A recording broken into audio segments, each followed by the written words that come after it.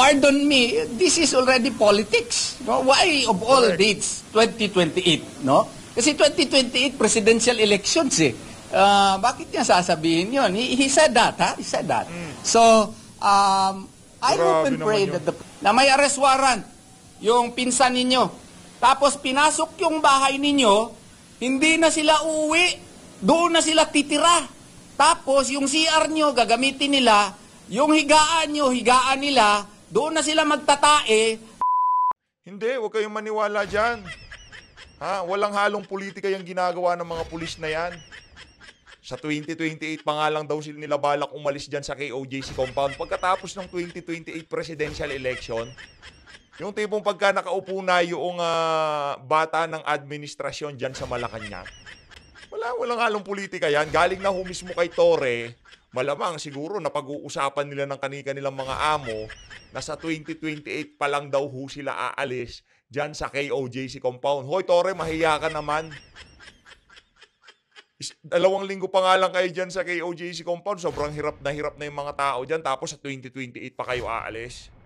Huwag naman hong ganon. Kaya na kahit na, kahit, sa bagay, kahit na ho namang ano sabihin itong si Tori na to, politika ho talaga ang motibasyon lahat ng pinaggagawa nila na yan dyan sa KOJC compound. Hindi naman ho paghahanap kay Pastor Apollo Gibuloy. Ang motibasyon dyan eh para masira ang ah, isa sa pinakamatinding supporter base ng mga Duterte. Nagbibigay ng pondo sa mga Duterte. O kung ano pa man, di ho natin alam. Pero ang sigurado dit- dito, ang KOJC eh isa sa pinakamalaking bulto na talagang solidong butante ng mga Duterte. Yun ho ang plano nitong ah, ano, administrasyon na to, nasirain ang KOJC. Pero base sa ating mga nakikita, eh, hindi ho mangyayari. Yung napakaitim na plano na yan, nitong si ni Torre, no?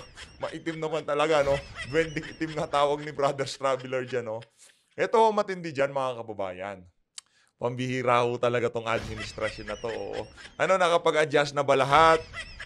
Sanay na ba lahat ah, ng mga kababayan natin sa mayat mayang merong baha? Kasi oh, yung ah, administrasyon na to eh napakahusay ho nilang mag-divert ng issue, no? Pagka meron nung nangyayaring kalamidad, ah, pagbaha, kagad ho pinapasok nila yung issue nitong si Alice Go.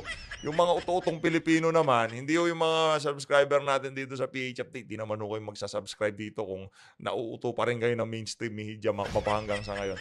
No? Yung mga uto-utong Pilipino naman, eh, okupadong-okupado dyan sa issue ni Alice Go. Pero yung mga pamamahay nila, eh, lubog sa baha ngayong mga panahon na to. Yun lang ho nakakalungkot, no? Yung mga kababayan ho natin, ang bilis ah, utuin, no? Pagdating ah, sa mga issue, no? Hindi ho nila ah, ah, atupagin yung issue na talagang malapit sa bitukan ng sambayan ng Pilipino. Pag ba naiuwi ang si Alice Go sa Pilipinas, matatanggal na ba ho baha?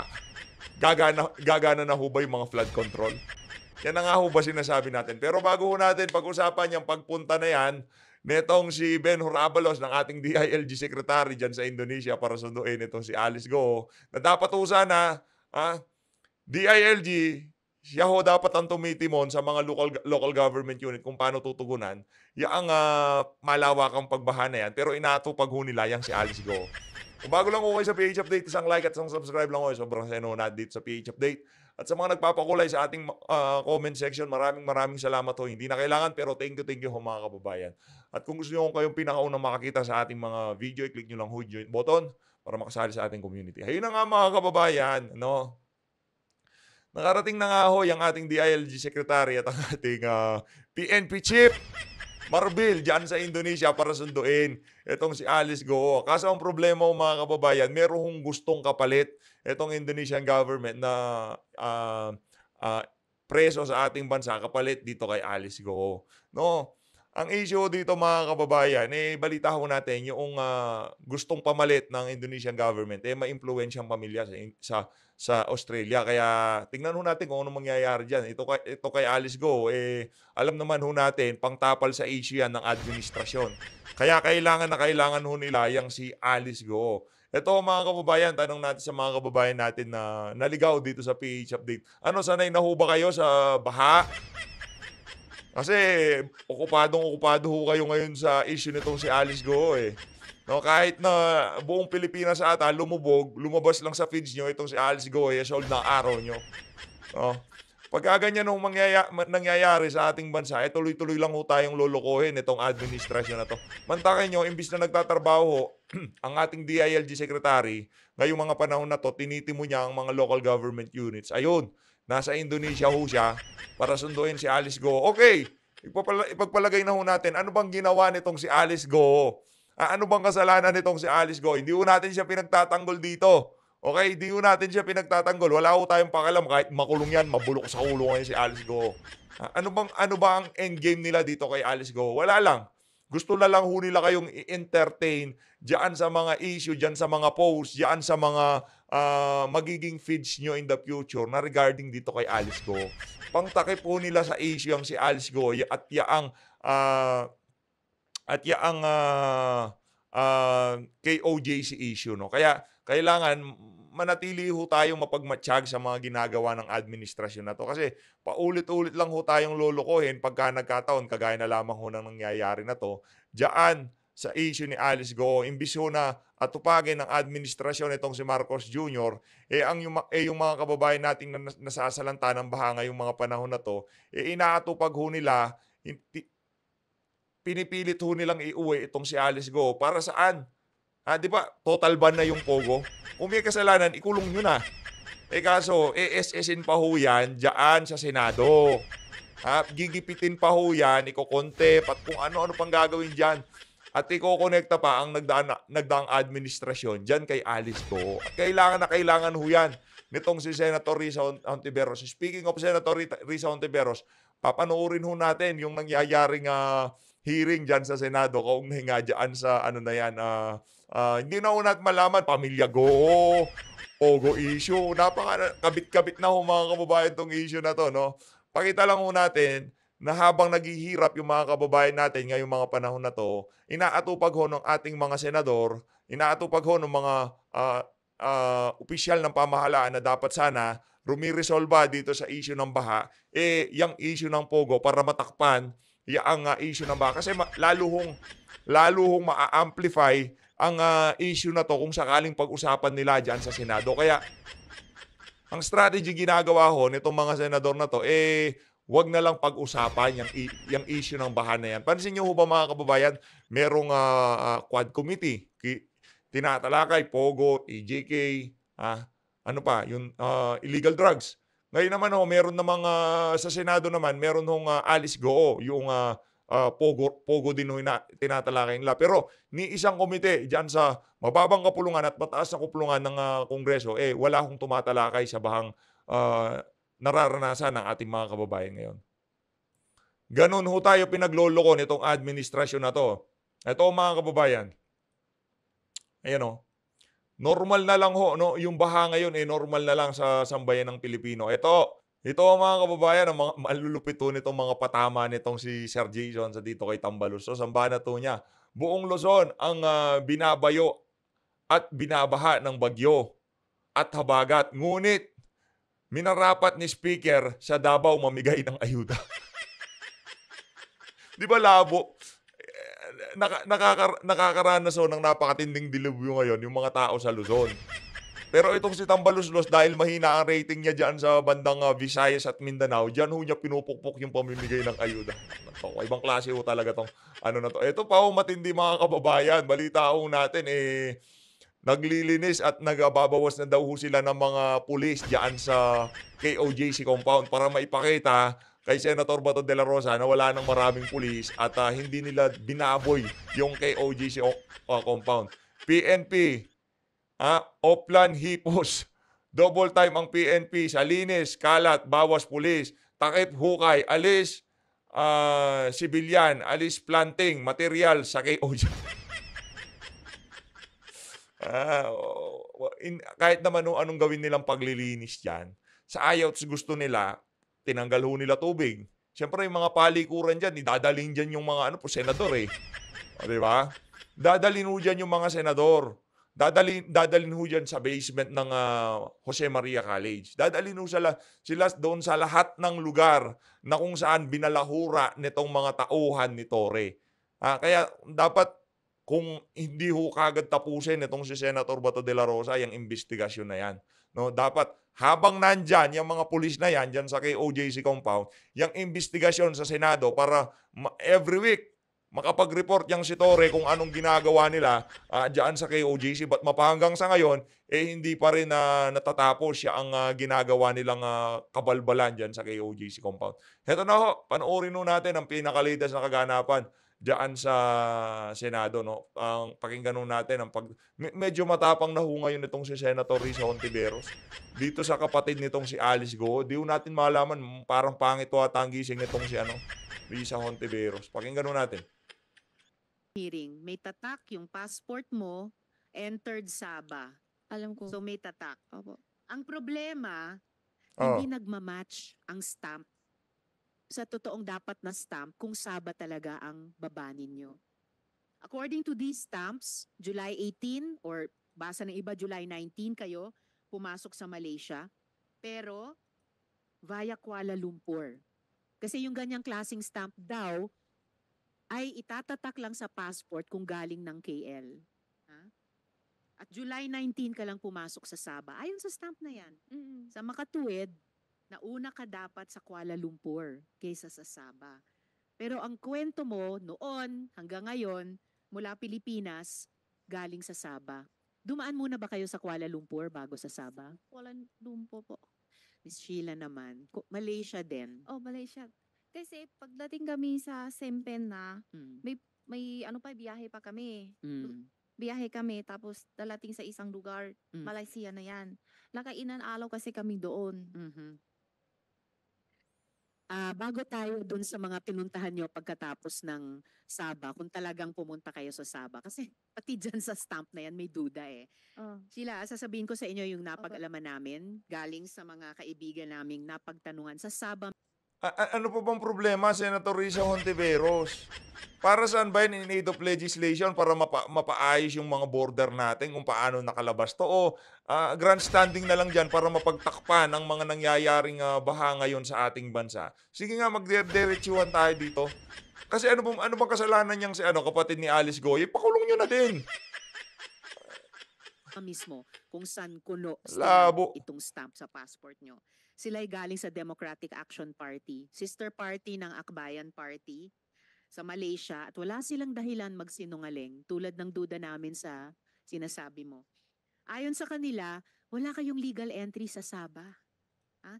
Pati yung stamp sa passport na nag indicate na dumating kayo sa Sabah, fake daw yung stamp na yan. Kinumpara nila sa totoong stamp na dapat tinatatak sa Sabah. Pero ang nakukumpirma nila, ito credible information na ng aming komite, subcommittee, tumating kayo sa Kuala Lumpur noong July 18. Kaya ang gusto kong malaman, paano kayo nakapasok, Sheila, sa Siemben na, kung totoo ito, at paano naman kayo dumating sa Kuala Lumpur? Yung tatag lang yung passport na hindi ko alam. Basta, Hmm. um, pagdating kami sa sa Sempen na, may biyahe kami sa isang lugar. Ilan Bago days Kaming, Bago yon Miss Sheila, bago yung pagkatapos ng Hindi, Siemben na. wala. Bago ng Siemben na, kung ayaw mo talagang sabihin na duma Mga kababayan, wala akong kwenta. Ah, Para saan? Ang mga detalye na yan, okay, nakalabas sila ng bansa. In aid of legislation, paiigtingin yung mga border ah, police natin o kung ano pa man yan. Eh, paigtingin nyo na. Ngayon, pakulong nyo na yung ali. Anak ng toka, panoorin na lang natin itong si, ah, ano, itong si ah, attorney Estrelito Torion, kaugnay dyan sa mga development dyan sa KOJC. Wala akong kwenta yung mga pagtatanong nitong si Senator Risa Hontiveros.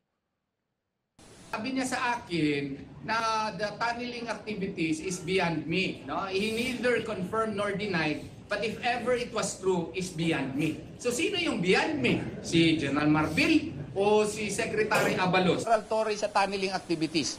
Beyond Naku po, yan na. tatlo Oh. lang yan. General Marbil, Secretary Al- Abalos, President Marcos. General Torre sa tunneling activities. Beyond General Marbil, Secretary Al- Kapit Abalos, lang ako, kapit lang. President Marcos. Diba? Sino pa bang beyond me? Hindi naman natin pwedeng sabihin na United Nations. Wala namang pakialam ang United Nations dito. Meron nga sana kasi continuing yung human rights violation dito, ah, pero they have not yet taken ah, action on it. Attorney, uh, reaction lang po sa inilabas na letter ngayon ng OCBO regarding sa pag-deny ng request ng Hero 11 na makahingi ng information with regards to uh, uh, structural plan ng mga building dito sa KOJC po. Yes, um, first, uh, that behind us, that's of the, uh, uh, we subscribe. Uh, thank you very much uh, for doing that because that is really in accordance with law. Where can you find an arrest, no, uh, which is supposed to implement a, a, an arrest against a particular accused, yet you are now asking for uh, specifications of the building, uh, including the maps, etc. No? These matters, if they want to do that, needs judicial imprimatur, no? Because I already cited that in Anti-Terrorism Act, the provision thereof, if you want to tap, no, the telelines of alleged terrorists, no, you the order from the court. How much more in this case? This is not even terrorism. This is a case for human trafficking. There is no question yet. are now And- engaging in tunneling activities. This is beyond comprehension. This is the first time ever that this is being done in the Republic of the Philippines. Correct. I would like to correct uh, the master and building plan that the, the denial of, of that Mhm. it was released by Police Regional Office 11, um, General Torre. I don't know. Not the Uh, it was released to us yesterday. Ah. Uh, so that's just correction. It's, it's not from the OCPO. It's Ah. from the one who released From Oh, General uh, ako, I was just uh, informed about it, no? I was, uh, I, I did not even know about it, no? Until uh, a few minutes ago when somebody um, texted me and gave me a copy, no? Uh, this is the beauty of my job. So many, thank you very much for my sources. I don't know you, no? Ang daming nagpo-provide sa akin ng information, no? Ah, marami na ako masyadong friends sa Facebook. Nagpapadala sa akin ng maski ano-ano. Salamat po sa inyo talaga. And Yun na nga ho, mga kababayan, malamang sa malamang karamihan ho dyan sa mga nagpapadala na yan kay Atty. Torion, eh yung mga pulis na tauhan mismo nitong si Torre. Kasi hindi naman ho kayo makakakuha ng larawan doon sa underground kung ah, hindi kayo isa sa mga pulis o sa mga naghuhukay doon sa ano na yon, doon sa ah, basement ng ah, JMC, di ba? you have been very helpful. Okay, so uh, yung sa na-receive nyo na yung order ng uh, Yesterday, late afternoon, around 4.48 in the afternoon, if my memory serves me right. Um, I don't say it voided the TPO. Um, i- somewhere in the, what you call this, uh, in effect, yeah, maybe it voided the TPO, um, if you want to term it as that. And that is why we are filing an urgent motion for reconsideration today. Uh, we had a draft uh, late last night already, but I I- because of exhaustion, I was not able to finalize it. I was only able to finalize it uh, early morning today. That the pending for the answer decision uh, sa motion for reconciliation that you filed, Mhm. uh, what are your expectations no, in the following days since General Torre told us no, kagabi na um, magpadayon din daw ang ilahang uh, operation. Uh, Mhm. And uh, he doesn't have a timeline pero magpadayon daw until the target Well, according to him, until 2028 daw, no? And why 2028? Uh, that gives us again validation uh, to our mind that this is no longer a service of an arrest warrant. Pardon me, this is already politics. No? Why of all Correct. dates 2028, no? Kasi 2028 presidential elections eh. Ah, bakit niya sasabihin 'yon? He, he said that, ha? He said that. So, um, I hope and pray yun. that the police will understand, especially those our friends in the police, no? Um, Grabe naman ho yung banat na yun ni Torre. Aalis sila dyan pa sa susunod na election pa. Hindi, hindi ho politically motivated yung ginagawa nila dyan. that uh, we really have reasonable grounds to believe that this is no longer a service of a warrant of arrest. No?